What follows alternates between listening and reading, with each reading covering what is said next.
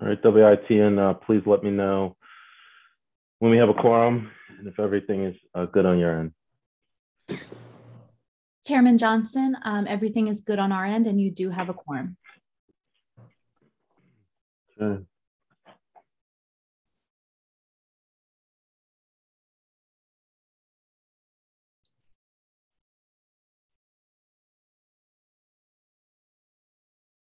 All right.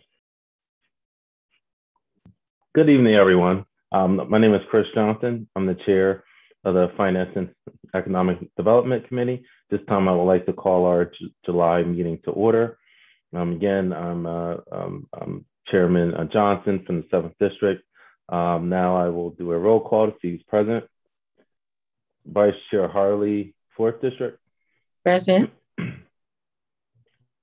Um, Council Member Oliver, 3rd District, is excused. Um, and so is Council Member Walsh at large. Um, Council Member Field, 8th District.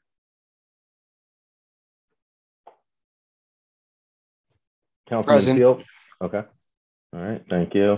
And uh, Council Member Spadola at large? Present. Okay, and Council President Congo.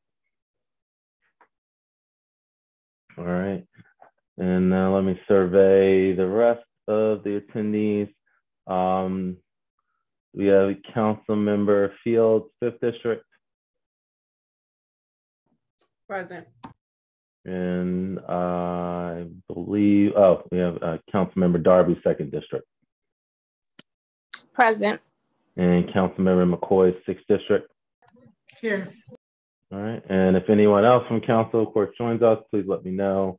Send me a message or a chat, and I will I'll make sure you're recognized at tonight's meeting. All right, um, we do have some of the uh, a pretty uh, meaty agenda this evening, as this is is the last committee meeting, of course, before uh, summer break for council. Um, so uh, let's just jump right to it. Um, the first on the agenda, as we've had um, almost uh, every month, uh, there is a finance committee meeting for the past year. Um, we have an update uh, from the administration on the city's um, use of ARPA funds. Um, do we have uh, Chief of Staff Washington or someone from the administration here this evening? Uh, Good evening, Chairperson. Uh, That will be me, uh, Stephanie Okay. Murray. All right, all right, Ms. Mergler, the, the floor is yours, ma'am. Great.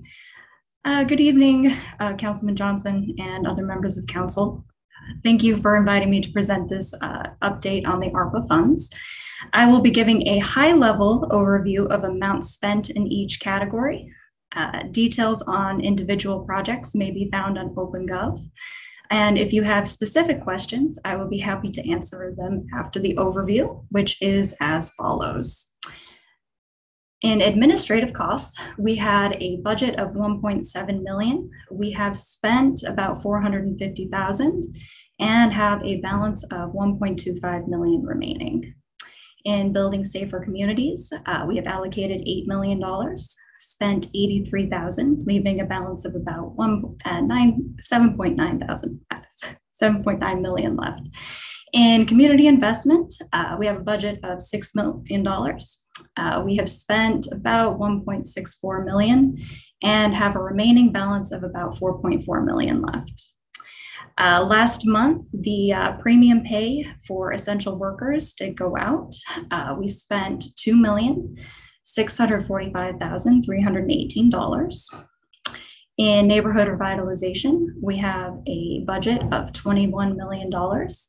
We have spent about 5.7 million and have a budget remaining of about 15.3 million dollars. Uh, revenue replacement, we did allocate 12 million during the uh, FY23 budget process. And finally, in workforce development, we have allocated $4 million and the full amount is still remaining. And does anybody have any questions? Uh, yes, thank, you very much, Ms. Mergler, for that uh, comprehensive overview. now, I haven't, um, I, I, I, I must admit, I did not have a chance to go to the website uh, today.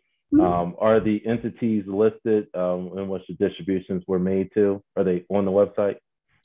On OpenGov, yes. So any um, any entity uh, with whom we have a ARPA contract and with whom we have set up an account in a project in Munis um, are displayed on OpenGov. Uh, currently, the only uh, project for which we have a contract but not is not currently displaying on OpenGov would be Christina Cultural Arts Center. Uh, that one we just need to finish uh, setting up a project and budget in Munis, and that one will then be displayed. In the uh, $83,000 in building safer communities, was that the consultant uh, uh, contract for Mr. Chevrels? Uh, it, it is from New not, Jersey. Uh, it is not. That is actually for the United Way. Uh, that is specifically uh, one moment. Um, that is specifically.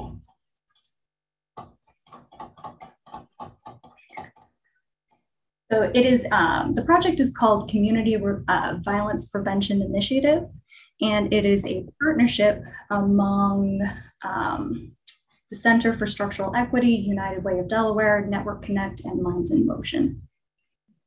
Okay. All right. All right. Thank you very much. Um, Councilmember Darby. Yes, thank you. Um, I also wanted to um, check to see um, last year in 2020, and I have forwarded two um, large requests for ARPA funding, one for the Wilmington Senior Center for 1.1 million and the Fame Center for 1.3 million. Are they on the list to get funded by ARPA? So I am not aware that the uh, that we have actually received those for review. Uh, if you have them, uh, if you forward them to me and Laura Najami and Director, sorry, Chief of Staff Washington, we can get them reviewed as soon as possible. Yeah, I can get them sent over again because um, the organization sent them to everybody. So I'll re-forward the email that they sent to you guys. Um, but yeah, and my other question is too, if you can explain um, to the public um, who makes decisions on the final say on ARPA funding and how, where it gets spent and how much. Uh, so we receive proposals uh, they are reviewed by uh, the mayor's office, the chief of staff, and the mayor. Um, they are reviewed, then reviewed by law, our law department for ARPA eligibility.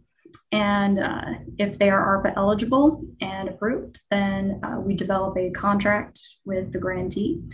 And then funding takes place from there after review from our compliance team. Yes, thank you. I just wanted to make it clear that there wasn't a legislative decision made. Like there's not a vote, it's an executive branch decision. Thank you.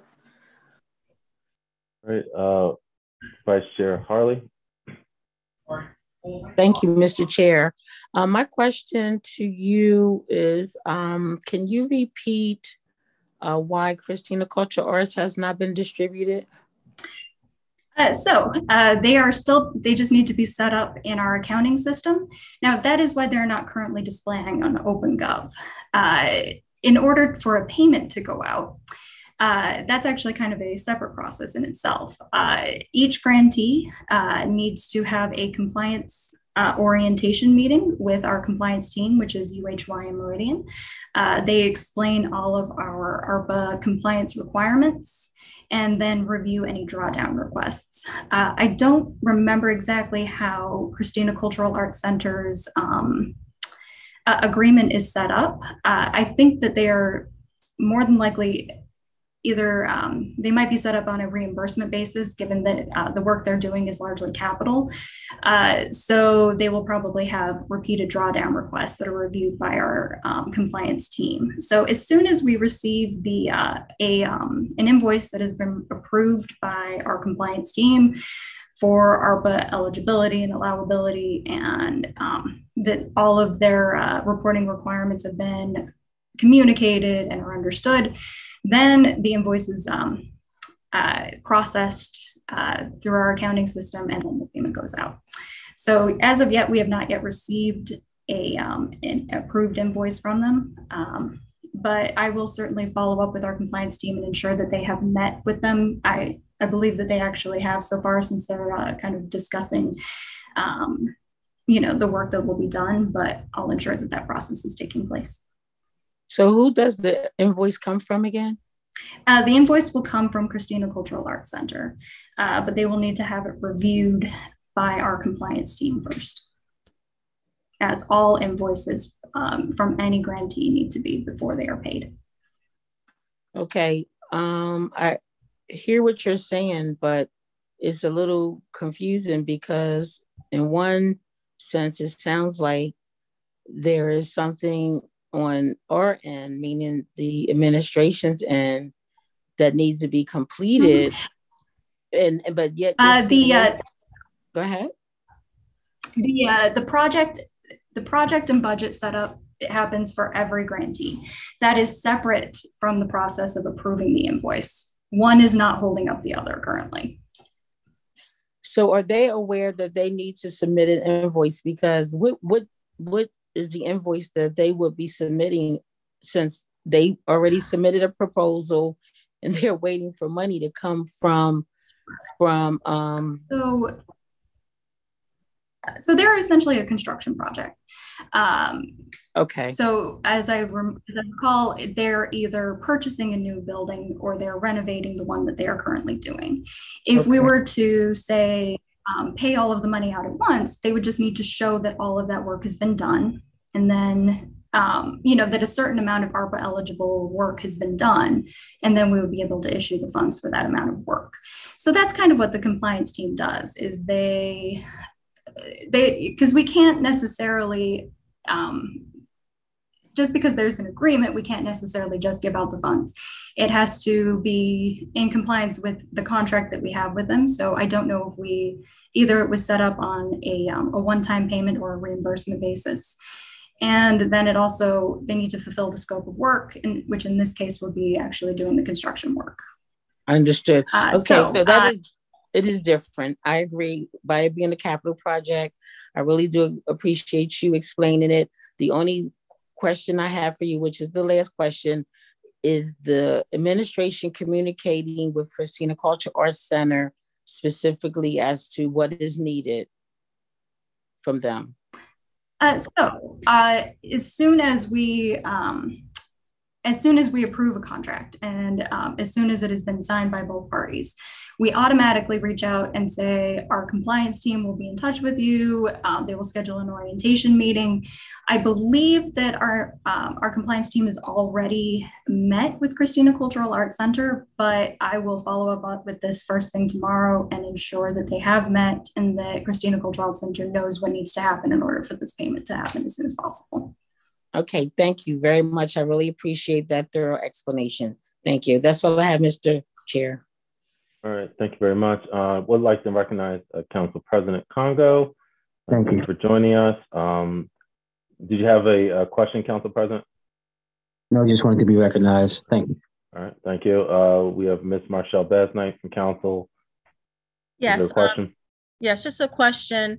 Um, I know that the contract agreement has been signed for a culture restoration project as mm-hmm. well as for the Delaware Art Museum. So um, are there funds, are they set up as a construction project or is it more so a grant? And if so, will their funds, are their funds going to be dispersed relatively soon?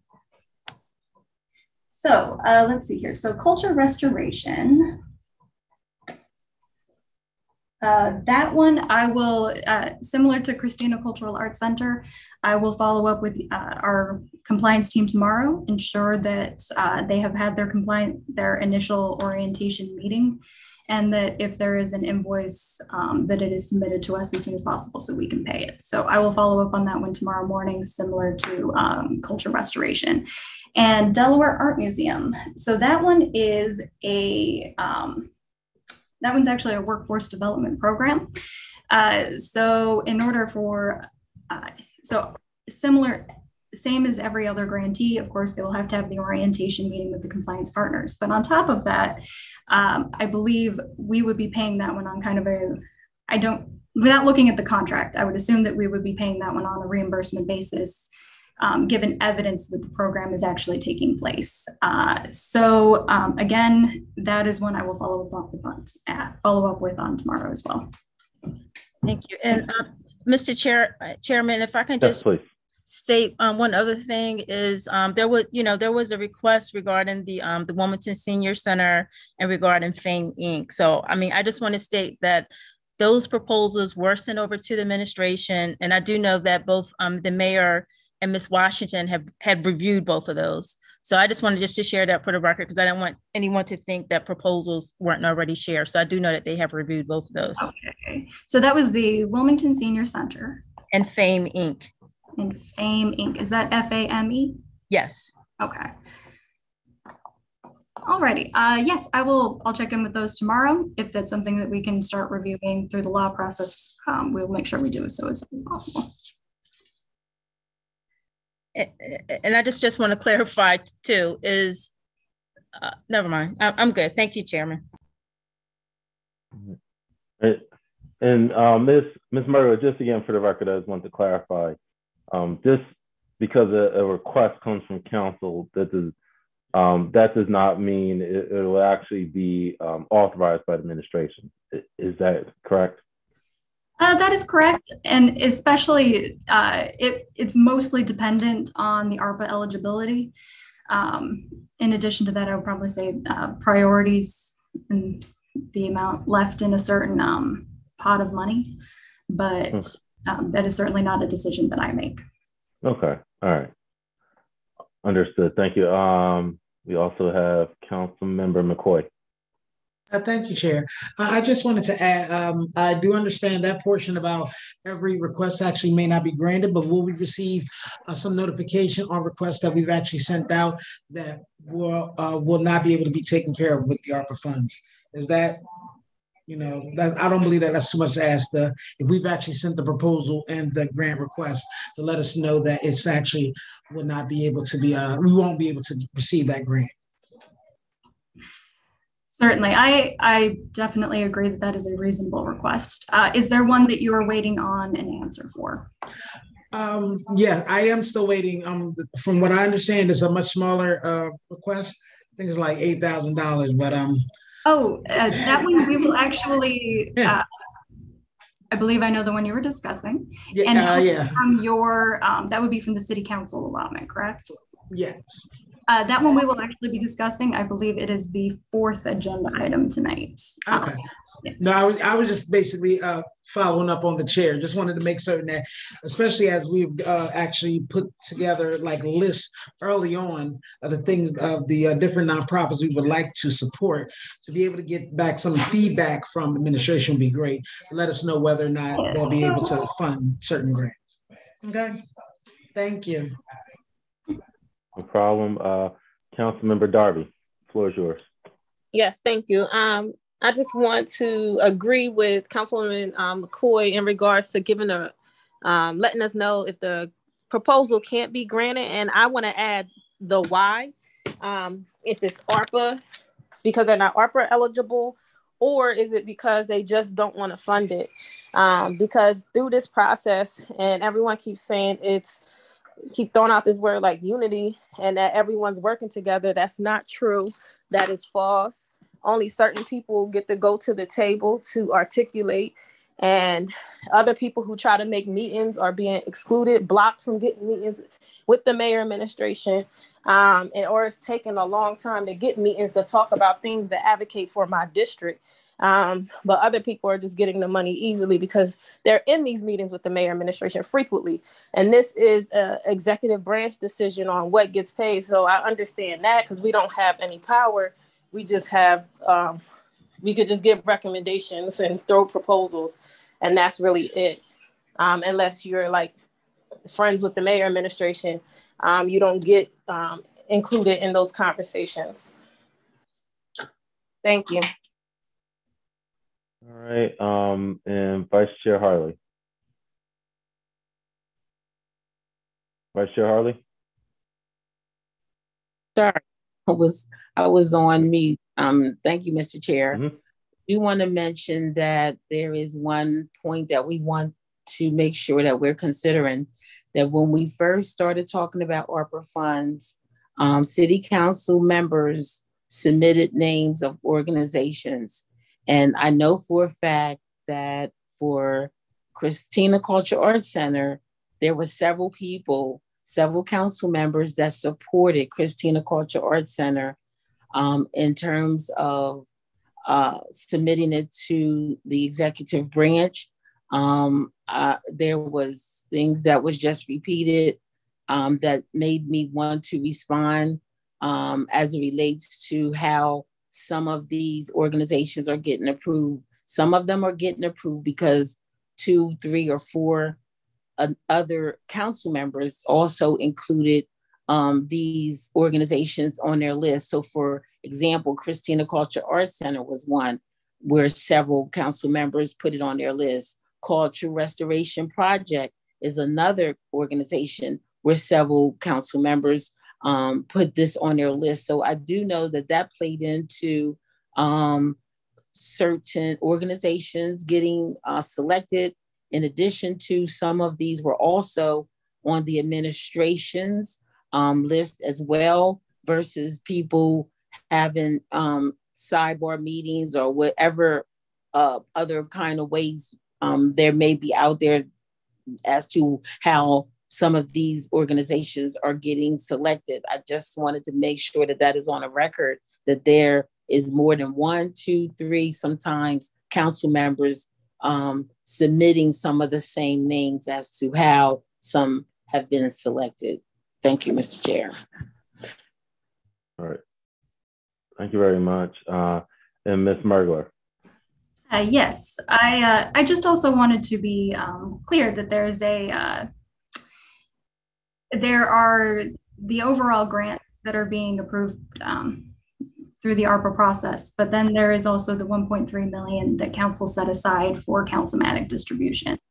Um, Council Member McCoy, uh, the uh, the project that you were mentioning earlier was part of that allotment um, and has been approved, but the um, we will be discussing an ordinance in relation to it um, as part of the fourth budget, um, the fourth uh, bullet for today's meeting.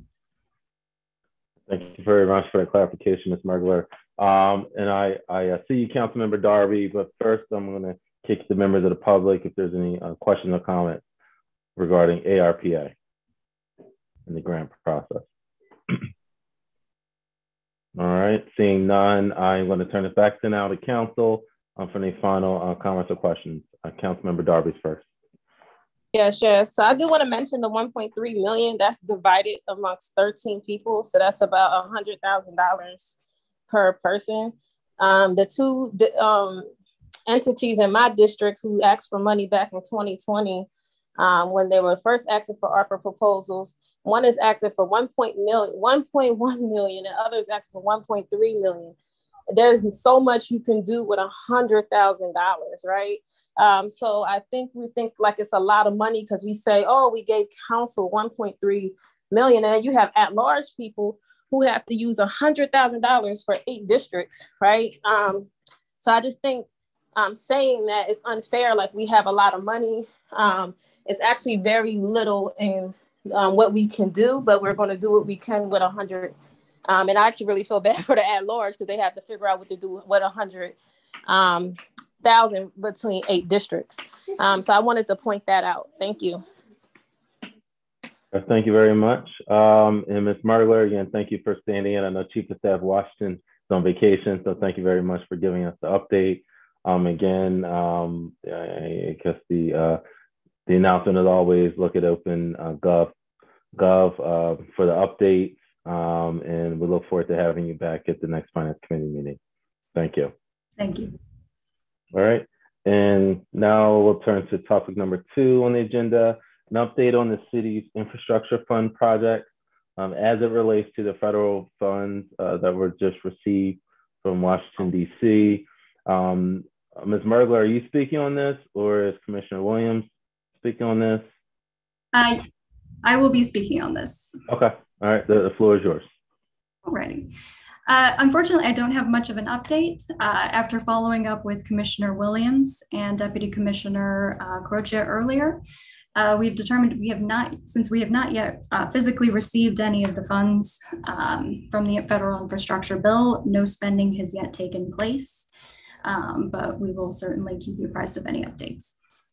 Okay, uh, now, Ms. Mergler, do we know how much I know it's always questioned back in May. We were not sure. We had to wait for the state allotment. Do we have an estimate of how much of the infrastructure bill will get to trickle down to us?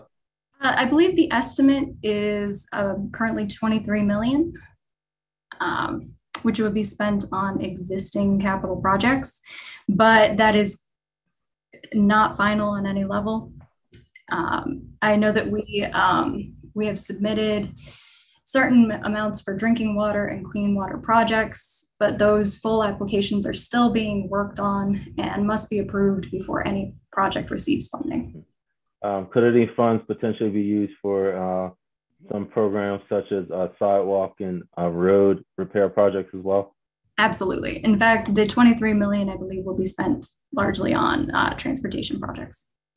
Okay. All right. Um, do we expect by August we'll have an update as to when the actual? Well, I guess let me strike that. Um, it will be similar to the same process we file for ARPA, but we'll need to do, I guess, a resolution approving the grant funds. Is that the way it's going to work? I think it might be more similar to um, when we approve, uh, according per my conversation with Commissioner Williams earlier. Uh, it sounds like funds will actually be administered by the state of Delaware uh, through the state revolving fund. So this will be a little bit more similar to when we receive um, state revolving funds for our existing capital projects. Okay. All right. All right. Thank you very much. Um, and I'll jump first to to Ms. Basnight from Council. Yeah. Um. Yeah. Just one one question is, I mean, at our last meeting, we asked for a list of the shovel ready projects that could perhaps make up that 23 million so um, do you know whether Commissioner Williams, I mean, if that has been determined yet, so council can have, have some type of idea of what some of those projects are um, that would be helpful for council. Um, thank you. So uh, Commissioner Williams uh, said they will be used on existing projects in the capital budget. So essentially, this would uh, supplant um, bond funding. So, say instead of uh, for the next bond issuance, the uh, for the 22 projects, um, we would use this funding instead. Uh, that is all I know so far, but I can certainly have her provide a list. Yes, so we, we need an actual list because there are a ton of capital projects out there. So we want to know which ones it is so we can have um, an idea, please. Thank you. Um, Vice Chair Harlee.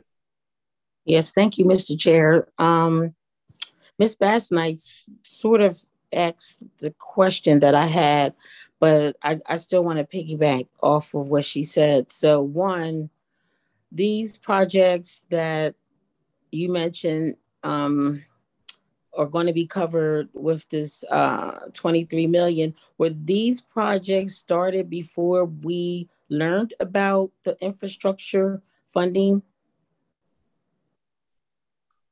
Uh, so typically they are ongoing projects uh, in the capital program. Uh, so I don't think that it would necessarily it would be an I after we receive the funding, I think it would have to be an accounting question of whether or not we supplant the funding we've already supplied for certain projects or we just use it for money go, you know for projects going forward. So say for unfunded projects in the 22 capital budget.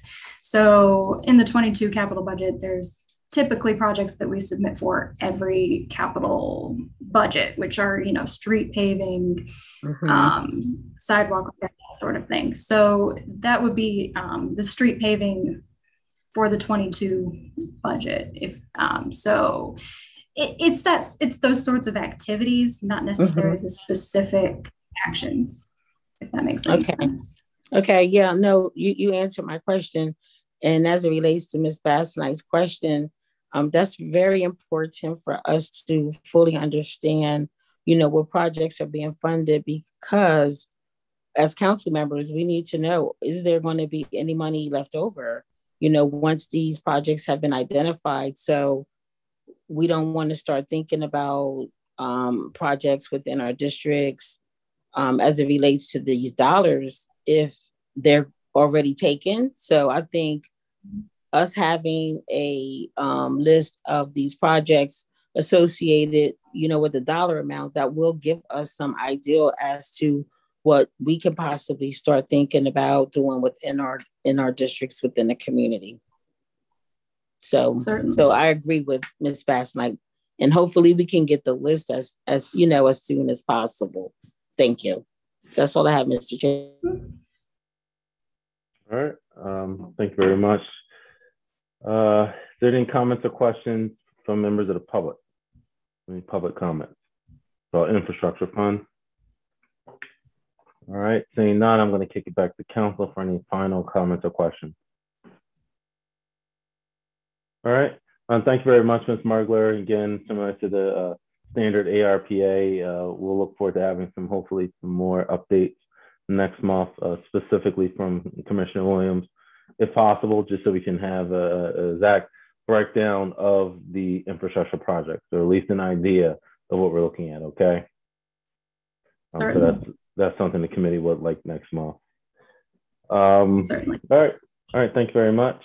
And uh, now turning to agenda item number three. Um, this is a substitute ordinance to ordinance 21-24, the ordinance to amend chapter five of the Delaware of the city code to require buyers of residential property to uh, have a business license. I believe the um, prime sponsor is uh, Councilmember Darby. The floor is yours. Yes, thank you. Um, so this piece of legislation is um, to it's a one tool to use to increase the number of business license that rental property um, that rental property owners have. So at um, property settlement, when they're buying a home and there would be a sheet that they check off that says vacant for a while and then it goes to the city.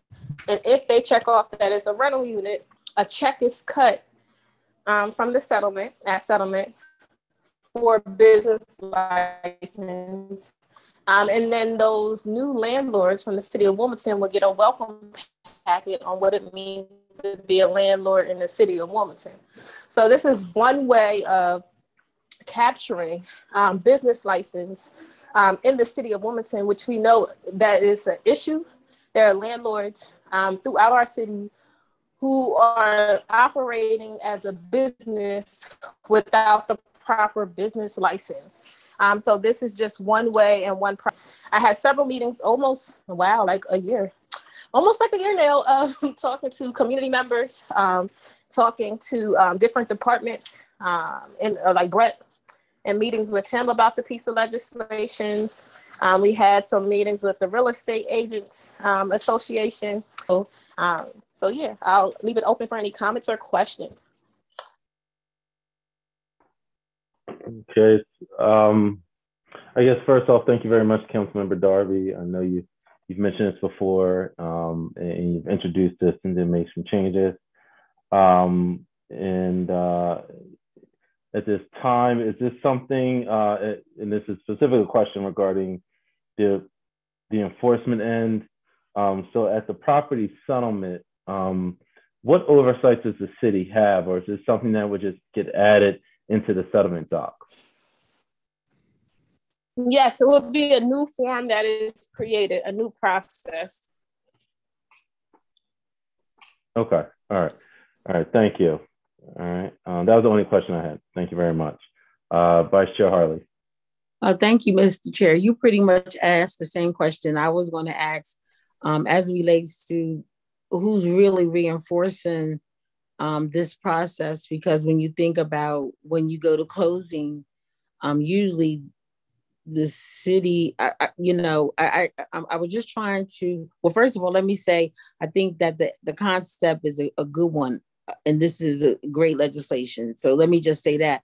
But the only thing I was trying to understand in my head was who is going to reinforce it because when you think about the city versus you know when an individual is actually going to settlement or you saying that this document is going to be a, a part of the clo- the closing documents council member darby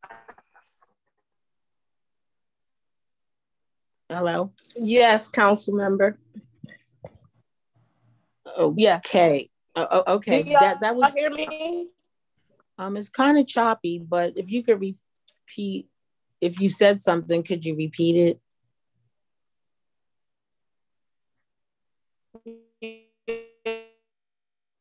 Excuse me, WITN. Cut off. Is, uh, Councilmember Darby is, is really choppy right now. I don't know if WITN can do something on their end.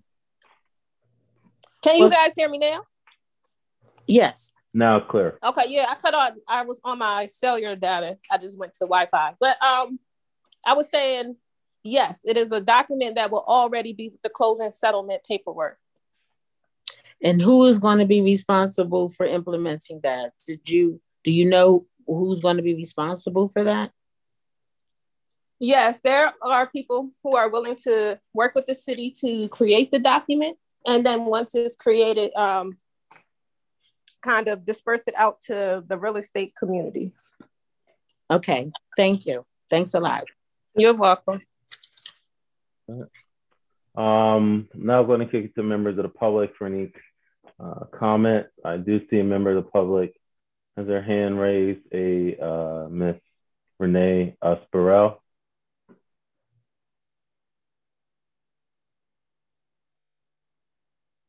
Uh, Ms. Burrell? Yes, can you hear me? Yes, the floor is yours, ma'am. Thank you. Hello, everyone. My name is Renee Spurl. I am a real estate agent within the state. Um, I've probably met a lot of you before working on various uh, different ordinances that have come up, but I've been working with Councilwoman Darby over the past year in regards to this idea that came up a couple years ago when um, a lot of the legislation regarding landlords and taking better care of properties was kind of on the agenda. Um, I had mentioned this before, and Councilwoman Darby has uh, reached out to me to help develop this idea. But she did summarize it very well, and you know, to kind of add a little bit of clarification to Council Councilman Johnson and Councilwoman Harlee's question regarding how it would be implemented. Um, I volunteered as well as a member of the Delaware Bar Association has volunteered to help put together the document that would be distributed to all the settlement attorneys and similar to a document that the state already sends out to collect revenue from out of state owners who sell properties to ensure that the state of Delaware collects their, proper, their income tax, this document will be included in a very similar fashion. So when an attorney is notified that when an attorney finds that their settlement is for a property in Wilmington, they will send out what is in essence an affidavit to the buyer asking them very specific questions about how the property would be used.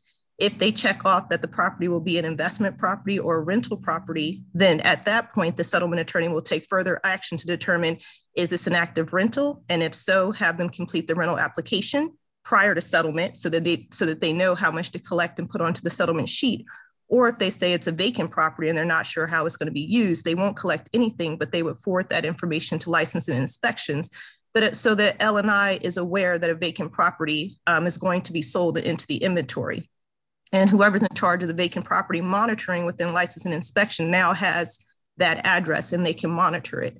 So in, in essence, this legislation will not only help um, increase registration for rental properties, but also give L&I a heads up on vacant properties so they can monitor those and make sure either something happens with them or that they start to pay those vacant property fees after the allotted time period is passed. Um, so I just want to add a little bit more light on that. I think it'd be very helpful um, and hopefully council uh, will support it. Thank you. Thank you. All right. Uh, th thank you very much, Ms. Uh, Burrell. Uh, I'm looking and don't see any other uh, comments by members of the uh, public, so I'll turn it back to members of council. Um, and I do want to, again, just for the record, I, I, um, given I know this has been a, a long um, piece in, in, in the works. Uh, it's a very good piece of legislation. I believe it needs uh, the full backing of Finance Committee. So I, I will be uh, adding myself as a co-sponsor. Uh, I would like to be added as a co-sponsor. Um, just time now, I'll kick it to uh, Council President. Yes, thank you. I would just like to be added as a co-sponsor. All right, so noted. Um, Ms. Basnight? Yes, and I just wanted just to state for the record too, um, with this legislation, it, it becomes effective after one year. Um, just want to mention that so that everyone is aware. Excellent. So, um, so it, as soon as the council meeting it would be passed, it would be the effective date would be one year from the passage, correct? Miss Miss Basnight? Yes, from the date uh, um, the mayor signs the legislation. Okay, gotcha. All right. Um, any other uh, questions or comments on uh, substitute one to ordinance 21-24? All right. Um, and because this is an ordinance, it does need to be formally voted out of committee.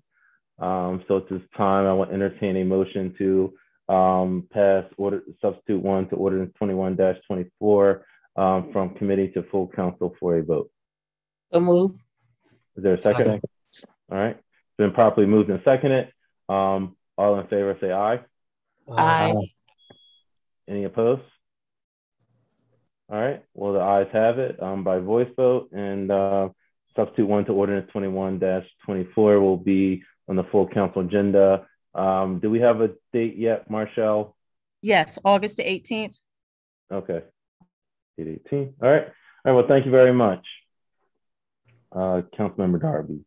Um, and now I'll turn to item number four on the agenda. It is a resolution establishing the City Council uh, Task Force to review fines, fees, administrative sanctions to the city. Um, this is a resolution. I believe the uh, uh, primary sponsor is Councilmember Darby. The floor is yours. Yes.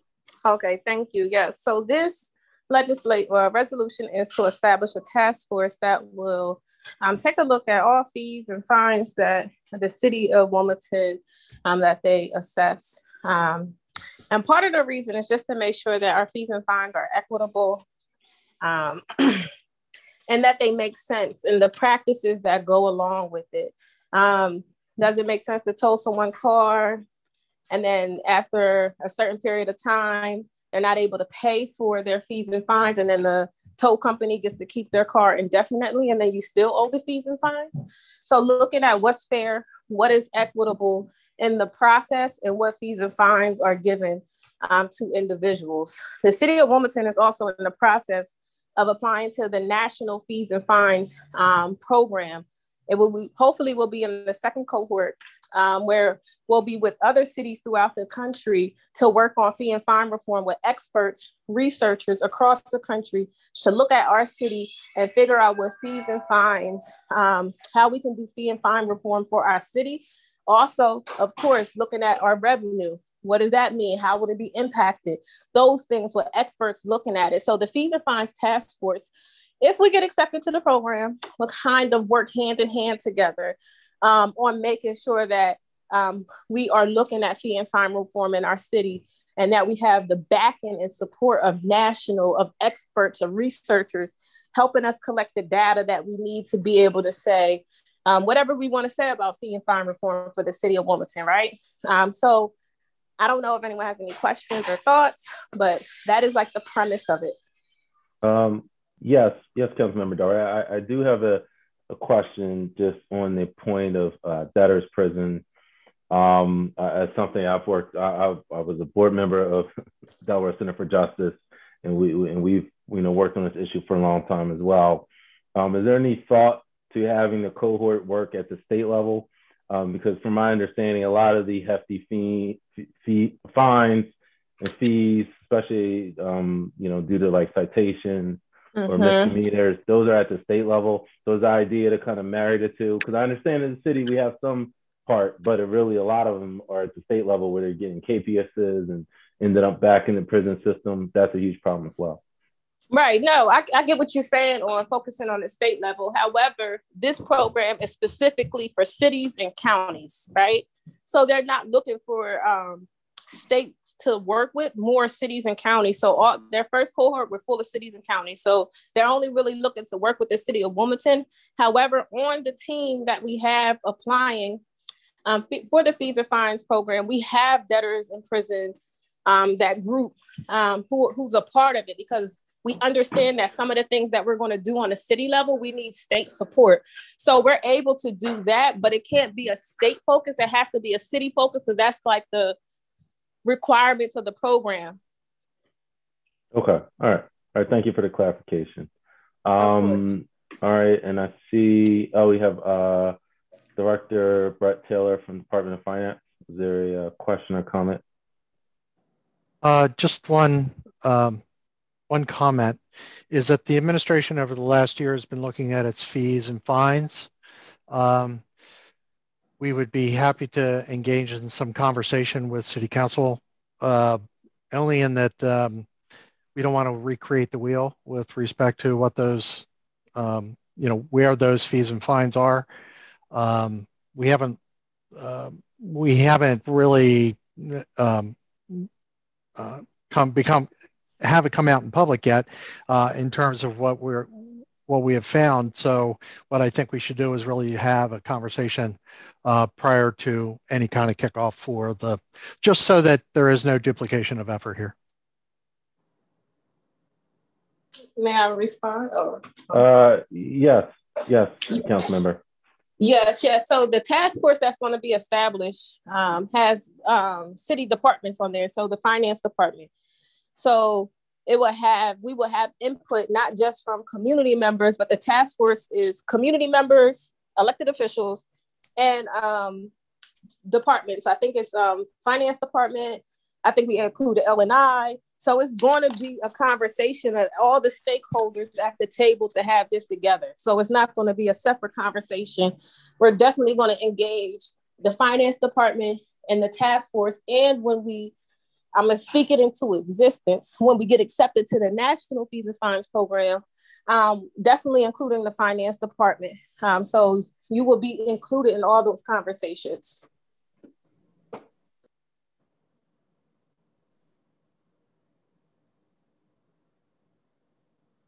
All right, uh, thank you very much. Uh, Council Member Field, I believe your hand was up first. Yes. I, I want to thank Councilmember Darby for her focus on this issue. M my comment, though, is that I mean, we have several people here that work for the city, very smart people, city residents that are focusing quite closely on this issue and share these concerns. And they are dedicating a significant amount of time to this issue. So they're here, they're working on it. Let's have this conversation. City residents, city council members, city employees. Let's have it. And, and I think that's, I'm skeptical of the need for a task force because we're already doing this work and we don't need to reinvent the wheel. Thank you very much. Uh, Councilmember Spadola. Thank you, Mr. Chair. My thought on reading this um, was more so, more than even a task force. It almost should be a uh, a permanent subcommittee uh, of the uh, of the finance committee because when we're talking about fines and fees, um, you know, the city has budgeted for some of the fines and fees as revenue. So if if we're we need to look at that holistically and not in a vacuum. Um, you know, if we're looking at bringing down the parking ticket fine, which I know we've spoken about, the next question has to be, um, well, how are we going to offset that revenue loss? And so that I, I think it's super important that it's really lives within the finance committee, so we can have that holistic uh, view of everything and not just in a vacuum. So I if we could make that change, I would be much more inclined to support it uh, when it gets to a council meeting. Thank you. My service went completely out, so I don't know what Nathan uh, said, and I just heard the end of what you said, Council Member Spadola, but I'm willing to listen. Okay. All right. Very well. Um, uh, Vice Chair Harlee. Yeah. Uh, thank you, Mr. Chair. Um, when I looked at the composition of the task force, were these recommendations by this this um, uh, organization, Council Member Darby, or how did that come about? Because when when I look at the composition of the um, the different uh, what I want to say, like finance department, I mean, has there been buy-in? Um, how? I mean, yeah, I'm just trying to understand. Did you get buy-in from individuals? for example, the finance department, public works, or are you making these recommendations? Because I'm thinking that based on what we're trying to accomplish here, it would bode well to try to build the relationships to make sure that people, individuals, you know, want to be represented. Um, because I think that this can happen two ways. You can identify particular um, individuals based on their role. And there's also an opportunity to open it up for individuals that are just interested. So I'm just speaking specifically right now to the composition of what I noticed when I was reading who is going to make up this task force, especially where it says that whoever the district person is, which is one one district person, and the district person will become the uh, the chairperson of the task force versus, you know, in this case, you're the one that's sponsoring this legislation, and you know, having this um, desire to take it to this level. I would think that you, you know maybe you would be considering yourself to be the the the, the chairperson of the task force versus I, I didn't even understand the connection of the person from the district being the chairperson of the task force but since this is the first and second reading if i'm if i'm if i'm, I'm correct there's an opportunity for for us to talk about this more uh possibly offline i guess i don't know but you can respond, Councilmember Darby. Yeah, so I've reached out to you and Councilmember Caber about this several times. So mm-hmm. this mm-hmm. is the first time, like I like you can't deny that. No, um, I'm not trying to. Okay. All right. So like that's like new what I'm hearing right now. So, but I am willing to have conversations as I have been with you guys, trying to engage you to look at the legislation and give me feedback. And then we wait tonight while I'm at the finance committee meeting to give that feedback when you could have given me that several times that I've been asking over the last few months for feedback. But I'm open um, to making adjustments and amendments. Um, the committee selections um, is one recommendation. So the fees and fines program gives multiple ways that you could set up a committee. There's not a one way, set in stone way of doing it. So I'm not bought to any way of setting up the um, commission, long as it's um, community people on there. Like there's certain things I'm like, we got to make sure we have it on there. But I am not bought to the um, composition because it's flexible.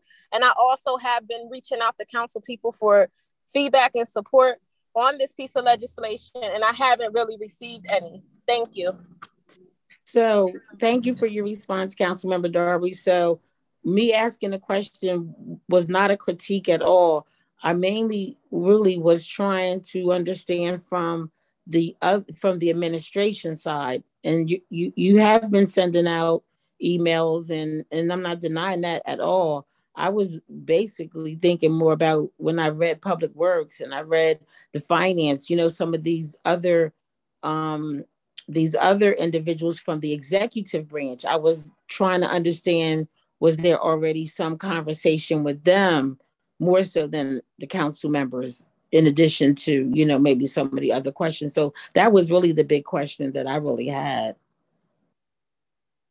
Because uh mr taylor director taylor didn't seem to i don't, I don't know uh, uh you know when he responded i was just curious to know if, if there has been some buy-in from from executive branch to be on a task force. That's the bottom line. That's the question Yes. Um, so I have reached out to the mayor administration several times to talk about the fees and fines national program to get support, and um, I have been ignored.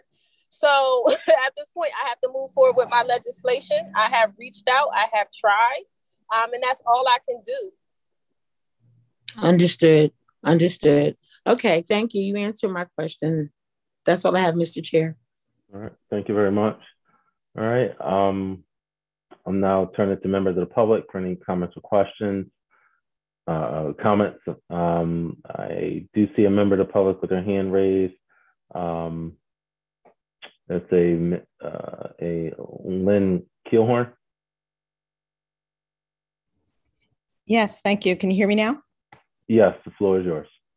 Thank you. So yes, I'm Lynn Keelhorn, and I'm the co-lead of the of Delaware's campaign to end debtors prison. which has been primarily focused on fines and fees issues at the state level, but also is supportive of understanding and improving how they work at the municipal and other levels as well. Um, we strongly support this resolution and, and believe that um, creating the task force is very worthwhile to provide a framework and structure to the conversations that need to be um, had. And I appreciate uh, Director Taylor saying that there are conversations um, happening already. So we're very interested to learn what all um, you know data has already been prepared and sliced and diced, and would love to dive into that. And if conversations can start before um, the task force is formally um, put into place, that would be great. There's no reason to not start informal conversations. But I think having the formal structure of the task force um, would be very beneficial and help make sure that all of the appropriate folks are included and invited to the table um, to move forward. Um, so I just wanted to endorse this to move forward. That's all. Thank you. Thank you very much. Um, now turning it to members of council for any final comments or questions. All right. Um, oh, sorry, it must have been. Uh, we, we do have a member of the public, um, I, I, and I just missed them, Gabrielle Lantieri. Hey, it's Gabby from Westside Grows. Hi, everybody. Um, so I was asked to just um, sit in on this meeting because I believe that we were going to discuss the use of a lot on 4th Street, but I don't know if that made it onto the agenda. I think uh, it was the y- last. Yes, yes, yes, Gabby, it is. It is on the agenda. It hasn't come up yet. Oh, okay. All right. Sorry, everybody. uh, no problem. All right. All right, thank you very much. Um, any final call for uh, comments on this this piece of legislation? All right. Um, if there are none, um, kicking it to council for any final comments or questions. All right. I'm saying none since this is a resolution. It does not uh, need to get uh, not need to be voted out of committee, and it will be placed on the next available agenda or a subsequent agenda um, when when a sponsor is ready. Thank you. All right, uh, now turning to agenda item number five. This is ordinance 22 31, an ordinance to create a temporary city council special fund for community support grants for entities impacted by COVID-19 pandemic. Um, I I am the um, prime sponsor on this. I will speak briefly and then turn over to administration. Um, this is a housekeeping uh, sort of amendment um, in which we made uh, a few changes in order for us to be able to process some of the ARP grant, the, the, the micro ARP grant funds from city council's allotment um, so we can get them out the door a little sooner and faster. So um, with that, I will turn it over to Ms. Mergler. Uh, thank you, Council Chair. So as you are aware, uh, 1.3 million in ARPA funds has been allocated for councilmanic distribution to nonprofits impacted by COVID-19. This ordinance will create a temporary special fund in City Council to house this 1.3 million and thus allow City Council to directly administrate its own grants.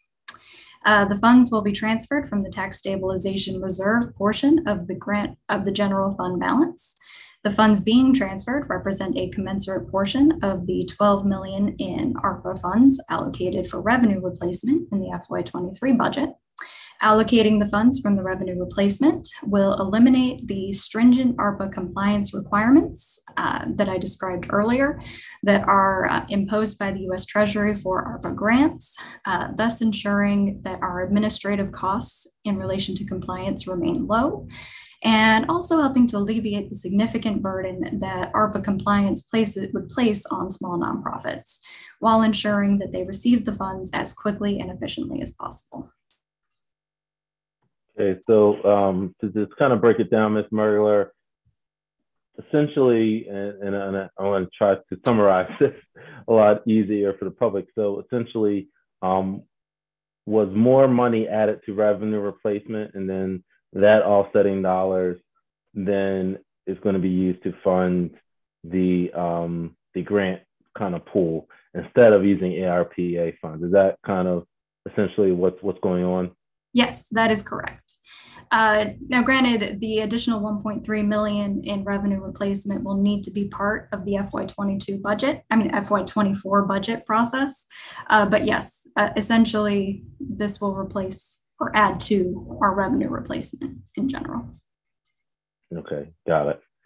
All right. Um, and so, what would the parameters be around this 1.3 million dollar fund? Will it be similar to the community support funds that council already has, or do we Correct. need to establish uh, regs? Yeah, Mr. Uh, Chairman, if I can speak to that, um, so um, okay. that, yeah, so basically, um, that 1.3 million that will um, be utilized based upon our um, existing community support funds and um, discretionary um, funds policies that we have set up in City Council.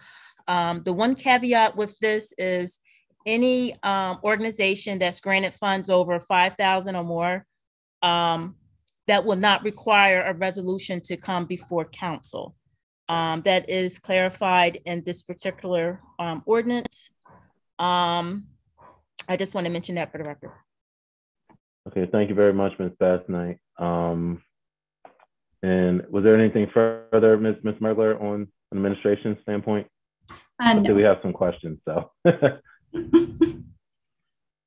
all right. All right, thank you. All right, I'll now turn to uh, council as they may have some questions for you, Ms. Mergler. Uh, first, Council uh, Member Spadola. Thank you. I'm curious how, you know, we're, getting this money from the Fed. We got this money from the Feds with very specific guidelines on how we can use it. So how do we have the authority to then, uh, you know, basically say, by doing this, we're essentially exempting ourselves from ARPA guidelines, it seems. And I just don't understand how that would be legal. Uh, it has to be through revenue replacement. So uh, there are very few restrictions placed on what you can do with money that you designate as revenue replacement.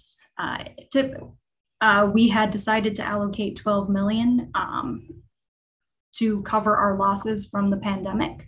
Uh, if we actually applied the uh, the formula that the feds give us for revenue replacement, it allows us to cover even more than just our losses. And once you do that, uh, you can spend the funds much more freely than uh, you could if you were spending it as a specific ARPA allocation. Um, the only restrictions placed on revenue replacement are in relation, you can't put it into a pension fund, um, you can't use it to issue tax refunds. Uh, there were a couple others. Um, you can't use it to offset uh, sale of investments or utility income, that sort of thing. But in general, it can be used on mostly anything you would like. Uh, the reason we're not doing it for everything is we want to try and spend the money as close to the letter of the law as possible um, in order to you know prevent any potential audit concerns. The issue we were running into with the city council grants is because of their smaller size uh, if if we ended up having say if all of this ended up being micro grants uh, we would be looking at about maybe 150 grants. And those still have exactly the same ARPA compliance. So it's a lot of burden on somebody to say only get a couple thousand dollars. Um, there's a lot of back and forth involved um, as well that takes time since you have to come up with a contract first, et cetera. So over time, our compliance team would still have to spend the same amount of time on a grant for, say, $8,000 as they would for one that's a million dollars. And that would eventually end up tripling or more our administrative costs for compliance. So we wanted to keep those costs low and we wanted to make sure that City Council could spend these grants expediently and on the things that you actually are passionate about and care about in the community, and are less worried about making sure you meet these very stringent ARPA compliance um, requirements. Okay. And as long um, it sounds like it's been vetted, so uh, thank you. Yes, and it has also been vetted by our compliance team, um, the people who tell us whether or not we're uh, spending money correctly. So they have they actually um, recommended that we take this step. Okay, thank you. All right. Um, And actually, I, I, see someone from law department is present. Uh, is, is the attorney from law department just able to, um, since this is a little unique, is anyone from law department able to just give some brief insight? Hello, Councilmember Johnson. Um, so I can, uh, there's there's a few different components to this. First, um, the ARPA regulations, both interim final rule and the final rule, both envision that cities have the option to add to the revenue because they lost revenue during the pandemic. And that revenue replacement process, once the money is in the revenue, barring the few items that Ms. Mergler mentioned, such as a legal settlement, such as a pension plan, such as a tax offset, um, it can be used as a city would normally use it as part of its revenue, including in this case, as the city normally has council members make grants within the community. So this is specifically envisioned in the process. And as Ms. Margot confirmed, um, the it's a better option, we think, for the community because the cost of having each of the individual organizations receiving these grants, having them go through the entire SAM.gov process, having them go through the entire monitoring and compliance process. It's extremely onerous to go through the ARPA process. Um, and this would allow them to spend a lot more money in the community rather than have to work through the extensive ARPA process. And we're following exactly the, regu the regu uh, regulations that were envisioned um, and allowed in the final rule. And we have confirmation from our outside compliance uh, specialists who are also preparing the city for an outside audit that this is completely allowable. So not just the law department is in agreement, but also our auditing specialists. Thank you very much. Uh, and, and I think that provided some clarification. Um, so thank you. Uh, believe we have uh, Councilmember McCoy. Question or comment? Yes, uh, thank you, Chair. Uh, I am so glad that you were able to come to this conclusion. I have to state that $8,000, which seems small at the moment, at the time when I made this request, we were only getting like 20 something thousand a piece. So that was actually a much more substantial amount of the funds that I had. And, you know, then later we actually were, uh, more was added. So my question is actually, do our do we have the same time period as our regular fiscal year when it comes to our discretionary funds? This is a lot more money, and wanted to know whether or not we are expected to have uh, to find these nonprofits in one fiscal year. No. Okay. So uh, the, the beauty of setting this up in a special fund means it will be revolving year. So the funds, if, if they're not expended by the end of FY23, they will carry over until FY24, 25 until they are fully expended. Okay. Thank you. And, and, and Ms. Mergler or uh, or Ms. Nahimi from Law Department maybe can answer this question. So if this does pass, um, when's as soon as we can get out some checks? Because I believe we do have a backlog. I know uh, Councilmember McCoy, uh, Councilmember Oliver, a few other council members already have some agencies that we've made commitments to. Um, how soon could a check be out the door? Uh, let's see. So essentially, uh, as soon as the as soon as the ordinance passes, uh, the finance department will just need to do a journal entry that transfers money from the um, from the tax stabilization reserve into the special fund. Um, we can even do some of the work on the back end before the ordinance passes, just to be safe to have the um, the uh, the actual fund in place so that that transfer can happen as soon as possible. And then once it does, the funds will be available, and then the grants can be made um, just the same as they are from your discretionary funds. Uh, the city does make uh, check runs once a week. Um, unless it's a special request. Uh, so um, those go out on Tuesday. Uh, and if it's a um, if we have everybody's direct deposit information, it can go out and be received by Thursday. Otherwise, it would be a check that would be mailed out. All right, thank you very much for clarification, Ms. Mergler. Um, thank you very much again for law department for assisting as well. Um, since this is an ordinance, it does need to be technically voted out committee. Uh, so at this time, I will entertain a motion to move ordinance uh, 22-31 uh, out of committee to full council for a vote. So move. Is there a second? Second. All right, it's been properly moved and seconded. Um, all in favor, say aye. Aye. Aye. Uh, any opposed? All right. All right, the ayes have it by voice vote, and uh, order 22-31 will be on the full council agenda. Um, will it be on this Thursday, um, Ms. Basnight? Yes, it will, Chairman. Okay, because I knew it was kind of an emergency. Okay. All right. Uh, thank you very much. It will be on the council agenda this Thursday, the uh, 14th. Thank you. All right. Uh, moving on to the next agenda item, number six. There's uh, this is ordinance 22-30, an ordinance to improve the disposition of seven properties located in West Center City to graduates of the Jumpstart Wilmington program. I believe uh, there is uh, the the prime sponsor, um, Ms. Bregetta Fields is here, and then also I believe we have uh, Real Estate and Housing Director Bob Weir. Uh, so first, I'll hand it to you, uh, Councilmember Fields, and and you can do the um, I guess the first comment. Okay, thank you, Councilman um, Johnson. Johnson. Um, I just wanted to say, well, we do have uh, we have someone on here from Cinnaire, which is um, Miss uh, Deanna Sargent, and we do have the Director of Real Estate and Housing. But this program is going to benefit the community um, as well as those minority developers um, that's coming in the West Center City. Um, and they are just, um, and I hope everyone sees that this is a beneficial um, ordinance that will help not just West Center City, but the entire city of Wilmington if we can continue with this program and it continues to grow.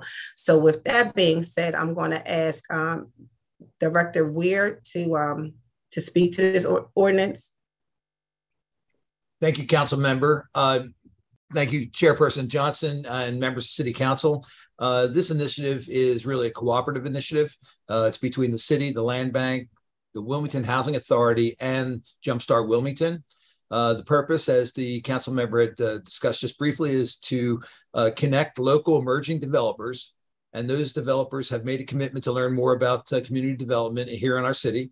Um, and we're trying to provide a sustainable process that will result in more vacant homes being occupied. Uh, we have total confidence that um, the number of properties that uh, are being offered uh, will be renovated in a short turnaround and will be available um, primarily for homeownership. But uh, these properties have had HUD monies invested in them. So during the pandemic, we had stripped these properties out, removed any environmental hazards, and put new roofs on them. Uh, the HUD requirements that uh, they are providing housing for um, income qualified uh, individuals and families. Uh, that it must be done so that uh, the city has the will have the ability and right to call the properties back if it's if promises made are not kept. And uh, and again, I talk about homeownership as being our priority, but I want to be transparent in that uh, if after a, number of months they are not um, a buyer is not found, uh, that we do have uh, the ability to allow the owners to rent these out again to income qualified individuals and families, but uh, rather than just staying vacant. So the homeownership is our first priority uh, in this particular uh, initiative. Uh, and the federal requirements of the HUD funds that have been invested in them will go forward with them. And uh, we think that this is the start of something that can be sustainable and can put another tool in our toolbox to take vacant properties and have them occupied again in our city. Thank you. Um, I had had a, a question, Dr. Weir. Um, so I do understand that home ownership is the priority, um, but is, is rental renting an option um, so that it could add to the city's rental stock? You know, as we hear every day about the severe lack of affordable rental housing in, in the city. Um, is that a possibility, or is it restricted by HUD guidelines that it has to be home owner properties?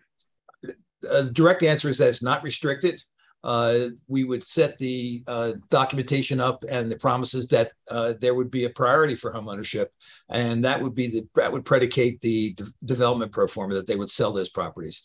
Uh, however, We know that there is a need. Our vacancy rate is very low in our affordable marketplace as far as rental.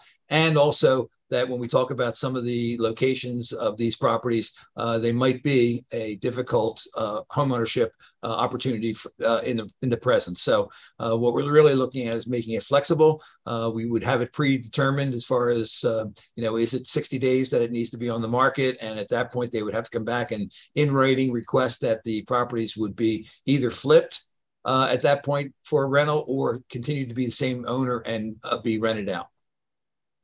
And, and, the follow-up director, Weir where uh, is it possible uh, as we look to get Jumpstart Wilmington kind of going in the city? Um, is it are we able to look at other neighborhoods, especially on the uh, west side? You know, for example, Hilltop, um, some other much-needed areas. Uh, we have some areas, of course, on the east side as well. Um, is, is, is this program able to be expanded and, and kind of replicated through other parts uh, Mr. Chairman, that is really the vision uh, when we are talking about um, our partnership right now with the land bank with WHA. That is exactly where this is going. In that right now there are uh, eight properties that are in West Center City, and we think there's some dynamics that are very positive to have eight properties in West Center City being done at one time. The Housing Authority is looking in the Hilltop area, and of course, the Land Bank has properties that are um, spread throughout the city. Uh, so we're trying to uh, put together something that's sustainable. That we are going to ask these folks to go through the process that was normally followed by the Land Bank uh, for disposition, and that's uh, also to create the competitive um, atmosphere that they're going to need to get better at. Uh, and then the housing authority has the same uh, idea. So this cooperation uh, is really, we hope, just the starter of, of the uh, process, and we can see this happening all over the city. Thank you very much, Director Weir. Um, don't see any questions or comments from council at this time. So I'm going to kick it to members of the public. Is there any comments or questions uh, uh, comments by members of the public? Okay, no. There was an individual from Cinnaire, uh, I believe Councilmember Field said. Is, is that individual here? Uh, uh, a, a Councilmember Field? Yes, that's what I was going to uh, mention. Okay. Um, Miss, um, I wanted Miss Sargent to speak to the Jumpstart program um, and just give uh, City Council Okay, Councilmember Fields, a Wi-Fi uh, broke up. Are you are you back Can you on? hear me? Yes, I, I, I believe you said you had someone from Cinnaire. Yes, I just want her to speak to the Jumpstart program. She's on Deanna Sargent. Okay, Ms. Sargent. Yes, I do see her. Uh, okay, the uh, floor is yours, Ms. Sargent. Thank you. I'll try to be very brief with my remarks. Good evening, Chairman Johnson, Vice Chair Harlee, and members of the Finance and Economic Development Committee. Thank you for the opportunity to speak on Ordinance 22-030, which is ordinance to dispose of seven properties owned by the City of Wilmington to graduates of the Jumpstart Wilmington program. My name is Deanna Sargent, and I am Vice President of Community Development for Cinnaire, a nonprofit organization that provides lending to developers to create affordable housing for rental or home ownership, including multifamily low-income housing tax credit projects. Additionally, we provide lending to support the development of community facilities that will bring resources and services to low and moderate income communities. In October 2020, we launched the Jumpstart Wilmington program based on an express need by local community based organizations, development entities, and other stakeholders. The overall purpose of the program is to promote the growth of local developers through training and development to support neighborhood revitalization and community development solutions by providing aspiring developers with the skills, knowledge, and support they need to rehabilitate properties. With over 1,500 vacant and blighted units in the city, increased developer capacity is needed to address this issue. And we believe that helping to create small scale developers will be the key to creating the scale needed to effectively revitalize Wilmington neighborhoods. Jumpstart Wilmington is modeled after Jumpstart Germantown, which launched in Philadelphia over seven years ago with the goal of equipping people, ideally from the community, with the resources to develop their community and increasing developer capacity. Another goal is to increase the amount of Black and Brown developers as well as women developers.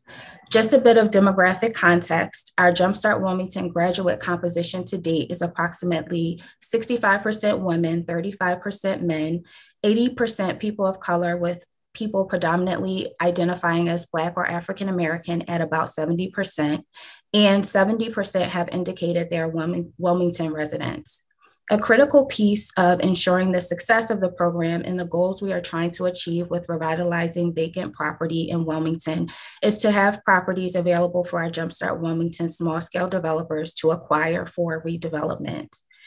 The seven properties in this ordinance will be part of the Jumpstart Wilmington Property Acquisition Pilot Program, which is a partnership between the City, Wilmington Land Bank, and the Wilmington Housing Authority's nonprofit entity, the Delaware Affordable Housing Group. The property acquisition pilot program will consist of a total of 12 properties that will be made available for our Jumpstart Wilmington graduates to acquire and develop seven of which will hopefully be provided by the City of Wilmington through this, this disposition process, and the remaining five will be provided by the Wilmington Housing Authority's Delaware Affordable Housing Group. The city's seven properties will be developed as affordable home ownership housing for households at or below 80% area median income. The Wilmington Housing Authority's Delaware Affordable Housing Group properties will be developed as rental for households at or below 80% area median income. WHA is also willing to provide housing vouchers if needed for the properties they are contributing to the Jumpstart Wilmington Property Acquisition Pilot Program. With the need for affordable housing options throughout the city and the country, quite frankly, this is an opportunity to help generate affordable housing utilizing small scale, community focused developer capacity we are building through the Jumpstart Wilmington program. We ask for your support of this ordinance and hope to see successful outcomes that will allow us to create these property acquisition opportunities for our Jumpstart Wilmington graduates on a greater scale throughout the city and all of your districts. Thank you again for your time and support.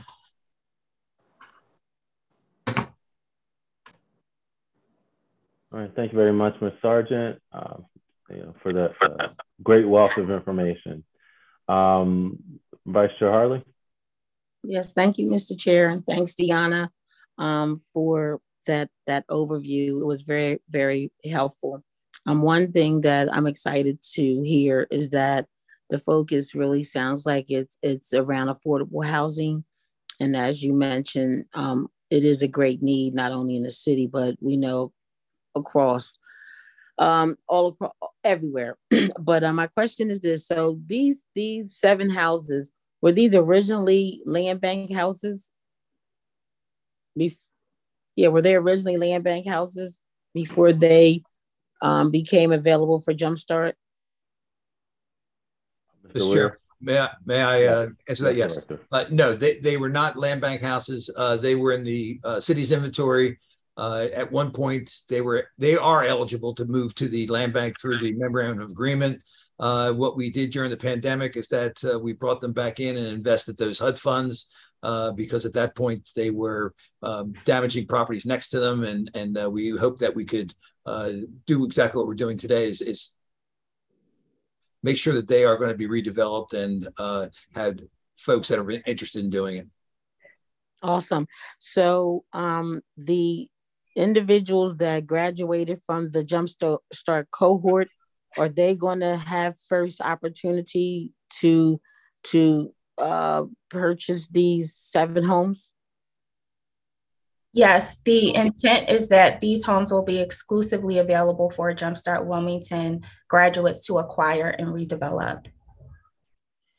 Okay, my last question is this is there a commitment already from any of those individuals for any of these seven houses? Yes, we have a lot of eager Jumpstart Wilmington graduates who are waiting for the launch of these, uh, actually the full 12 of the properties, inclusive of the seven. And Cinnaire is going to do the funding? Cinnaire will make funding available through our Jumpstart Wilmington loan program for those who are in need of a loan and would like to go through Cinnaire. Um, but they will have an option to go to other lenders if they find more competitive rates. But we do have a, a loan program that's exclusively for our Jumpstart Wilmington graduates to take advantage of. Sounds like an excellent program. It definitely, definitely does. So thank you, Deanna, and thank you, um, Director Weir. That's all I have, Mr. Chair. Thank you very much. Um, and, and uh, housekeeping matter, I, I, would like to be added as a co-sponsor on this matter as I um, Councilmember Fields has is, is, is, been uh, keeping me up to date on this, and, and I'm very excited to to see it spread throughout the, the rest of West Side, actually, Hilltop especially, as I know that's the uh, area that we plan to hit next uh, in terms of trying to um, rebuild the housing stock. So thank you very much, Councilmember Fields for taking the lead on this and uh, look forward to uh, starting this program. Um, since this is an ordinance, it does need to be formally voted out of committee. Um, so at this time, I want to introduce, uh, entertain a motion to uh, to move ordinance 22-30 uh, uh, uh, out of committee to full council for vote. And Council Chair, our President has his hand yes, up. Yes, and before we get to that, uh, Council President Congo. Yes, thank you. I'd just like to be added as a co-sponsor. All right. So I would too, Mr. Mr. Chair. I would like to be added as a co-sponsor too. Okay. Uh, so noted. All right. Uh, at this time, I will entertain the motion uh, to move the ordinance to a full full committee. Full so move. All right. Uh, is there a second? Is there a second? Second. All right. It's been properly moved and seconded. All in favor, say aye. Aye. Uh, any opposed? All right. Uh, the ayes have it by voice vote, and I believe uh, since this is time sensitive, will this be on the uh, the the next council meeting on the 14th Ms. Basnight? Yes, that's correct. Okay, it will be the council meeting on July 14th. Thank you very much, everyone. Um, and finally, moving to the last agenda item on the um, tonight is a resolution approving the grant of a license to Westside Grows to 1641 West 4th Street to hold a small business pop-up event. Uh, and um, I am the prime sponsor on this as, as I can shed, shed a little bit of light on this. Um, this is a, a matter that has come, um, it's really a housekeeping matter. Um, this is a event that has already actually taken place in, in terms of use of West 4th Street. Um, but this this summer, uh, Westside Grows, I believe, intends to make full use of the property, and uh, because it is a city-owned vacant lot, I believe we have to go through the kind of legal hoops of just making sure there's a grant, um, so they continue to use this to support our small business community, um, especially in the Hilltop area. So um, I believe we do have. Uh, do we have anyone from the administration here to talk on this? Uh, I, am I'm, I'm available, uh, Mr. Chair. Okay. Just is there any uh, light to shed, uh, Director Weir? Well, this resolution, as you mentioned, uh, Mr. Chairman, is, is to approve a grant uh, for a license for Westside Grows. Uh, it's at the lot of Fourth and Dupont. Uh, I believe Gabby uh, from Westside Grows is available to to address uh, any of the specifics, but I'd like to share with the committee that uh, the requirements of indemnification of the city by Westside Grows, uh, indemnification of the city by individual vendors. There's going to be security necessary. There's going to be proper permitting necessary. And then, of course, the site uh, will be uh, required to be cleaned and free of trash and debris at the end of, of each event. Uh, that that's very typical of what the real estate and housing uh, department does when there is a license granted. Uh, this monthly small pop up, um, I, I, would I would defer to someone uh, from Westside Grows. I do have the dates, but I'd much rather have uh, someone who's um, actually in a, in a hands-on position to, uh, to, go into greater detail. All right. Thank you very much, Director Weir. And I believe we have Ms. Ms. Lantieri, Gabby from Westside Grows. Uh, thank you for joining us this evening, and the floor is yours, Gabby. Hi, everyone. Um, so, as you all know, I am Gabby from uh, Cornerstone West. We're also known as Westside Grows Together. I'm the Economic Development Manager, and I'm here on behalf of our Economic Development team uh, to represent our proposal to utilize this lot specifically for monthly pop-ups to support our small businesses. Uh, particularly, we would like to utilize this monthly event to support our entrepreneurs uh, that are currently without a physical location, brick and mortar. So it's a lot of our Black and Brown entrepreneurs that are mobile businesses or vending. Um, and providing them with an opportunity to sell their wares and goods on a monthly basis. Um, as it was mentioned, we would maintain uh, the the space in terms of cleanliness and security as well. Um, we would like to start utilizing the property as soon as possible, just to take advantage of the the weather um, and the extra daylight that we have uh, through the fall. Um, we have done uh, similar events like this um, in partnership. Uh, as some of you may know, uh, Pastor Quincy from Milk and Honey uh, did a Small Business Saturday event. We also hosted a similar event um, at Books and Bagels, uh, which is our, our local bookstore on the west side.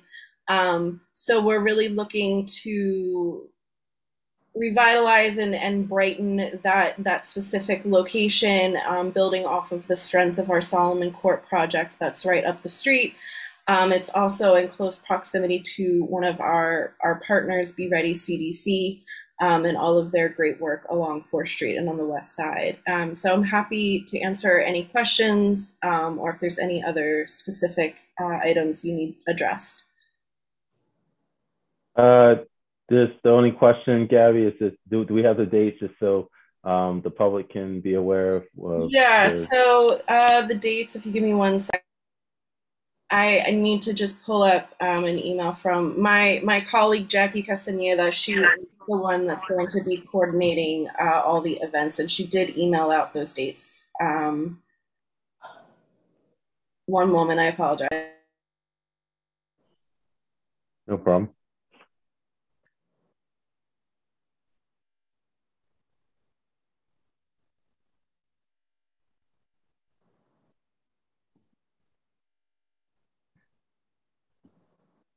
So uh, the event is to be a four-hour event held July through September. It would start from 11 a.m. to 3 p.m.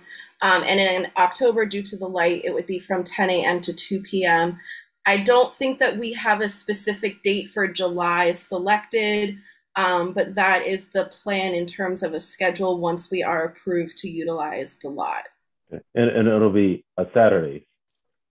Yeah, I think the goal is for it to be on Saturdays, to be like a small okay. business Saturday event. Um, uh, I, in terms of our usage, would we only have access to it on that on Saturdays, or would we be allowed to utilize it for other events? Um, that's a question more for real estate and housing. Uh, I don't know if Director Weir, are, are you prepared to answer that? Is, is the use multifaceted, different days? What was the license? Yeah, as far as the uh, indemnification and, and insurances, uh, they would have to be included into the contract. So okay. that uh, you know, other than um, you know a blanket any day, any time, I think that it would be best if we had dates, but uh, okay. we can be flexible with that.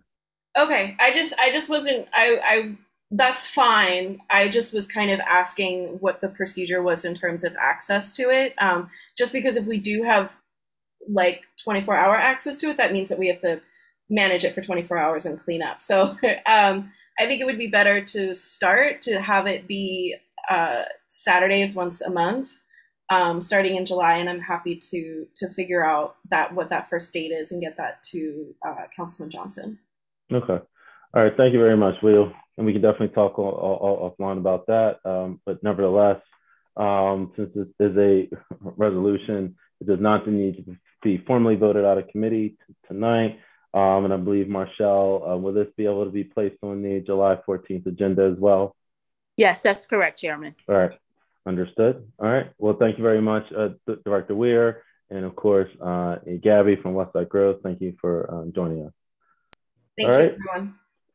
At this time, uh, we've now concluded the Finance and Economic Development Committee meeting um, for July. Um, and again, I appreciate everyone staying tuned and staying informed, especially regarding the uh, you know fast moving and ever changing landscape of ARPA and infrastructure funds. So thank you for joining us. Um, we do, we are getting ready to go on uh, um, council summer break um, starting July 15th through August 15th. Um, so we will keep everyone apprised, uh, apprised as to the date and time of the August meeting uh, for the Finance Committee. So um, uh, otherwise, I will entertain a motion to adjourn. So move. All right, is there a second? Second. All right, then properly moved and seconded. All in favor, say aye. Aye. All right, any opposed? All right. Well, thank you very much. The meeting has concluded, and I look forward to uh, everyone have a safe, of course, uh, summer break, and I look forward to seeing everyone at the next meeting. Thank you. Thank you. Take care, everyone.